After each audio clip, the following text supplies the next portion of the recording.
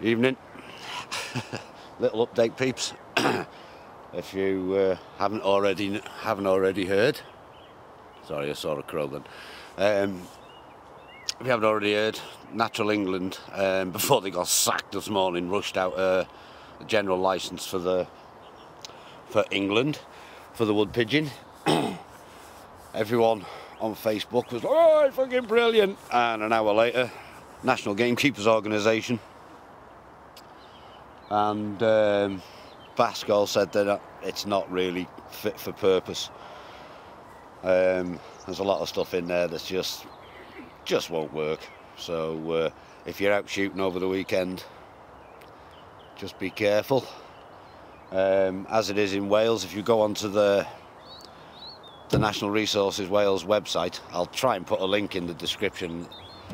Um, but I'm not very tech savvy, so that might it might not, uh, a bit dark that, it? It might not, um, which is not a bad thing for you lot, it might not work.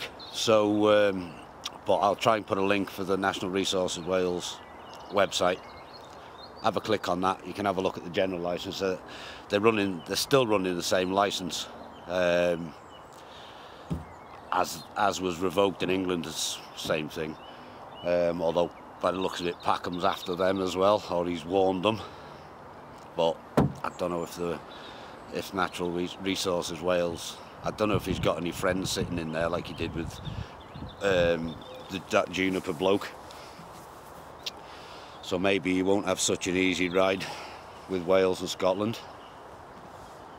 Um, and then DEFRA, was it yesterday? I think yesterday they were saying, DEFRA was saying that um, or some organisations were saying that DEFRA should take over the licensing from Natural England.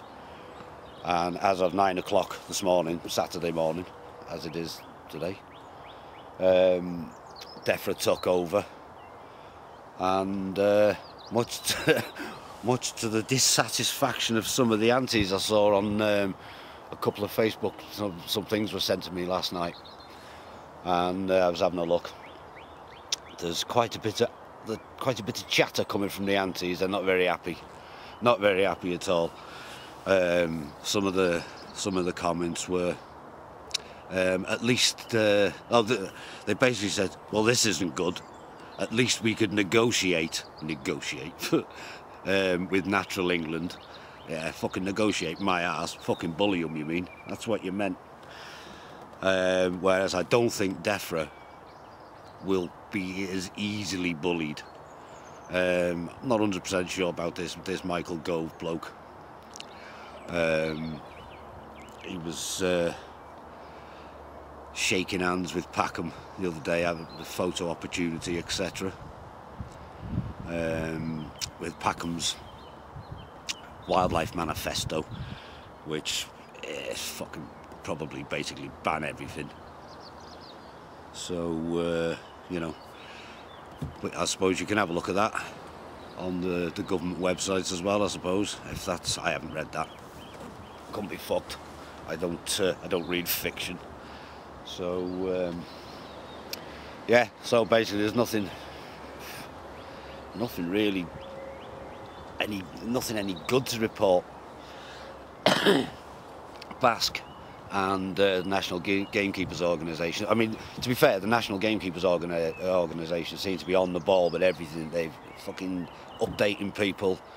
Um, everything's all up to date, and they're sort of they're on the ball with it. They seem to be on it all the time, telling people what's happening and getting in there and you know sticking their oar in and trying to um, trying to get this whole fucking fiasco sorted out. Um, BASC seems to be chirping up every now and again, but as I noticed earlier on, it was pretty much a, a carbon copy of what was said by the NGO. So, you know, whoever got there first, I think the NGO got in first. So, uh, you know, but the shooting bodies do appear to be doing something, at least. Um, as of my rant last week when I was effing and blinding about and doing fuck all, they do actually appear to be doing something now. So, and so they fucking should, because let's face it, it's they're going to be out of a job as well, aren't they? If all this went completely tits up. but now DEFRA have got hold of it. Um, Michael Gove is calling for um, evidence, I believe, from both sides. Well, you know, the evidence, the evidence from the agricultural side and the conservation side, the wildlife side, everything. The evidence that that'll come from the shooters' point of view, farmers' point of view, it's it's undisputable. 155 million quid's worth of damage the pigeons did last year to crops. Um, according to what I saw written on on the BASC BASC site. Um, ground nesting birds, uh, game birds, livestock. It's all it's all there documented. So the shooting bodies, I'm sure, will uh, turn up with wheelbarrowfuls of evidence and say, "There you go," and tip that on the doorstep and say, "Have yourself a shufty through that, matey." And then uh, the likes of Packham will turn up and say, well, you know, everything's suffering because of the shooting, which is a complete load of bollocks. Absolute load of bollocks. When things are suffering, things aren't there. At the end of the day, even since the, um, the Wildlife Act in 81, if you just count it from there, corvid numbers are going up, pigeon numbers are going up, all the little nasty fucking, you know what I mean, everything's rising no matter how many we shoot. The fuckers are still rising, so, you know, if we didn't shoot them, the numbers are going to be absolutely chaotic. So, uh, you know, I mean, a lot of people do try to do stuff. Um, you saw my dick about video the other night with the non-lethal fannying about. Um, but people do actually do things like that. You know what I mean? Um, I know shooters, they go out and they'll put out rope bangers and flags and windmills and kites and all sorts of stuff. And uh, after a couple of days, crows, pigeons, everything get used to it. You know, so uh, they just keep coming in. You know, but uh, as far as everything seems to suffer because we're shooting, we're shooting pest species, but people seem to think that everything else suffers and it doesn't.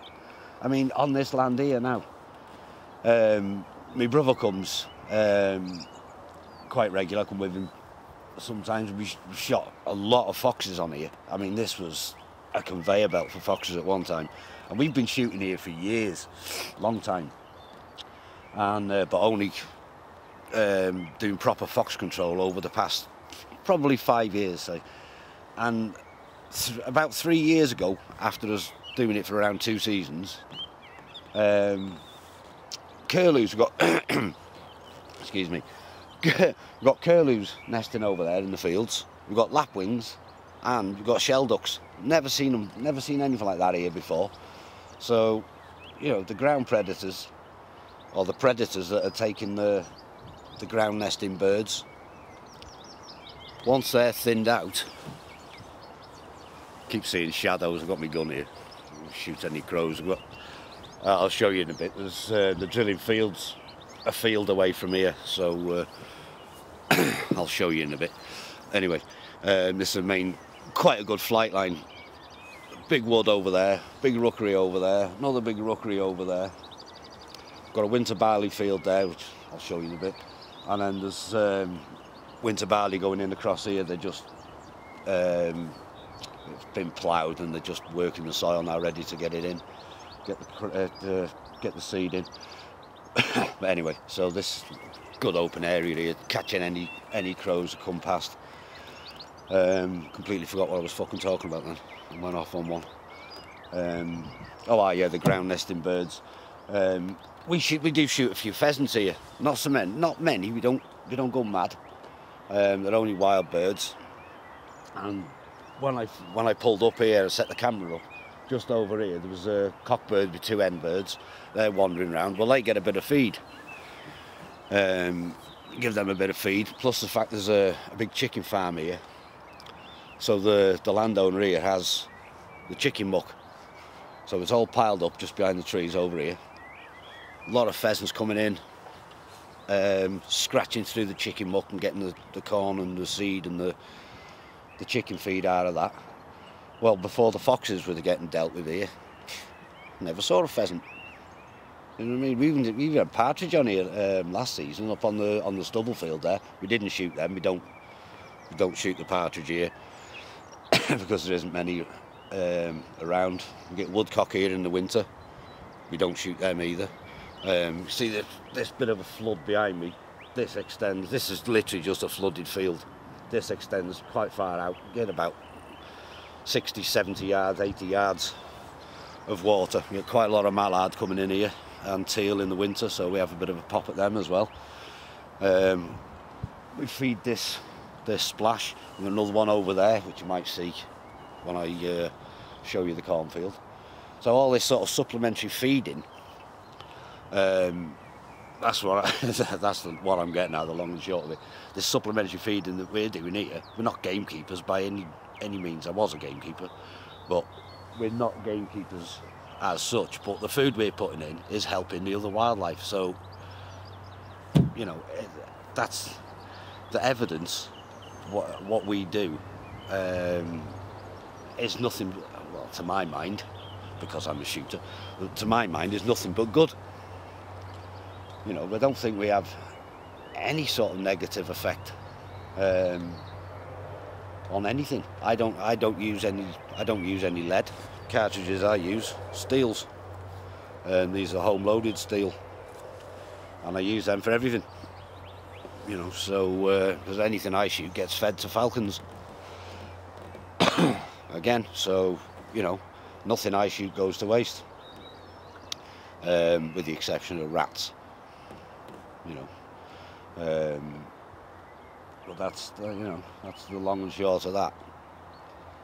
So anyway, uh, yeah, so anyway, I've fucking started rattling on. I'm here just gonna, well, I'm gonna bugger off in a minute. Gonna come to have a quick wander and a quick, a quick natter, maybe try and get an update. But have a look on the any websites.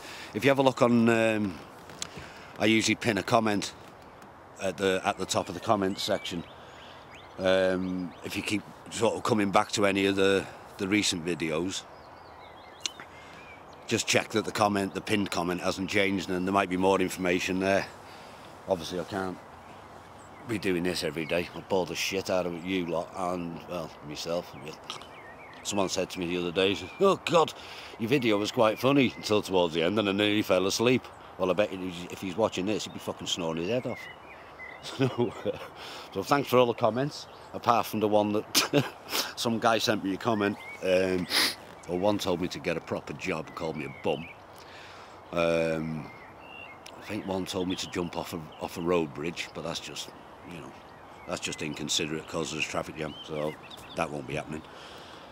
Uh, another guy says, um, I need to get a life.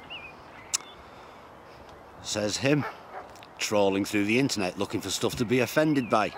Go fuck yourself, you prick, if you're watching this. Off you pop. Stick your head in a fucking oven. um, and then go and eat a vegan pasty or some fucking shit. So, but I won't get back onto the vegans. But anyway, yeah, so that's it. That's all, all I've got to say at the moment. um, yeah, check the website out. I'll try and put some links in.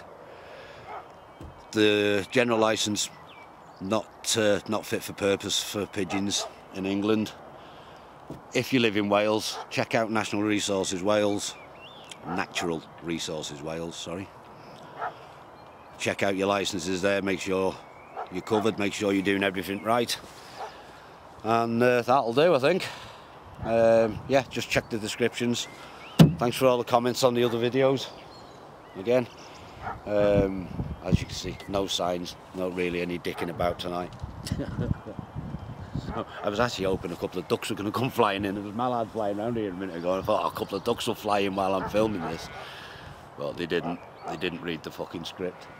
So, uh, not that I have a script, obviously, as you can tell. But anyway, yeah. So, uh, oh, I was going to say is um, the Canada Goose license that they introduced yesterday at the same time as the the pigeon license. That apparently that's even fucking worse than the pigeon license. So don't bother don't bother shooting Canada geese. until everything's sorted and uh, yeah, or you know. But anyway, um, yeah, that'll do for now. I'll uh, pop a little clip in of the where the drilled fields are, basically up there, yeah, just two fields, yeah, two fields away, two and a half hundred yards, 300 yards that way. So if you're interested, keep having a look, keep looking. Right, thanks for watching guys, see you later.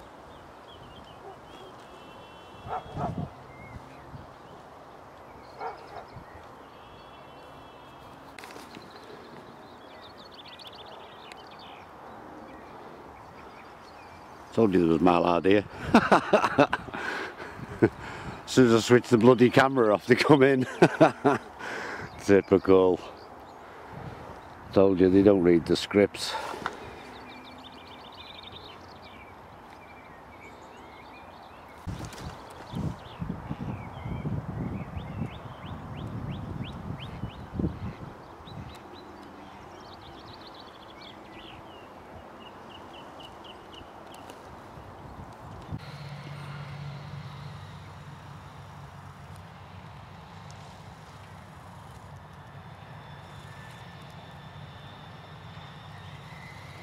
Working the fields there.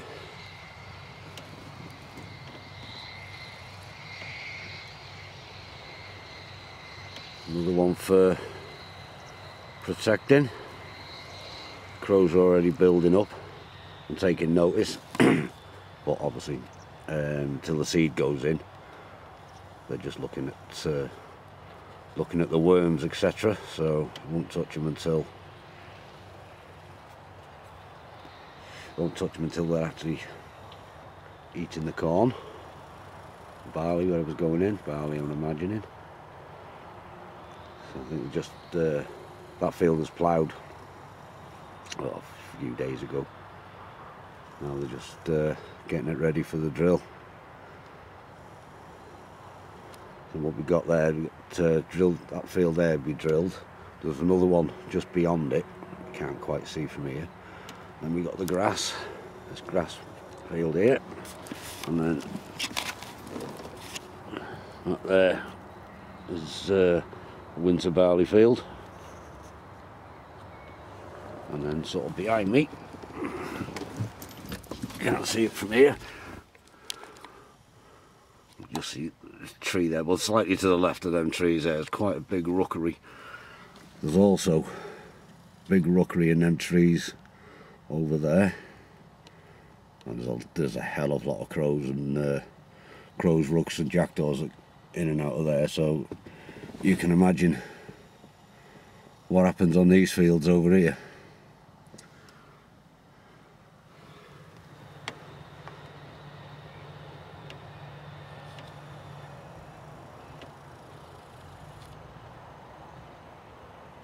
Always nice to see the, the tractors out working in the spring.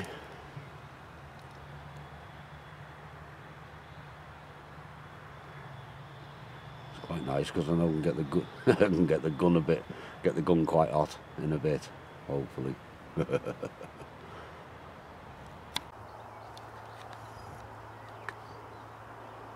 Just thought I'd show you what I've got in the uh, the half an hour I was studying. Not a lot but it'll all help.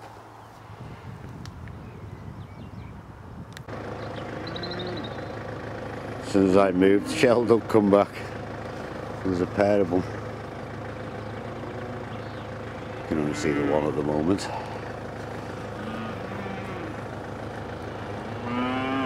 Nice to see. I can hold the bastard thing steady.